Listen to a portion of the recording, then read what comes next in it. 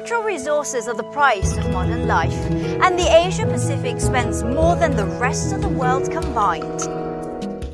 But how can we recognize the opportunities? We have over 100 metrics, which means that we know precisely what it takes to build our economies across the region.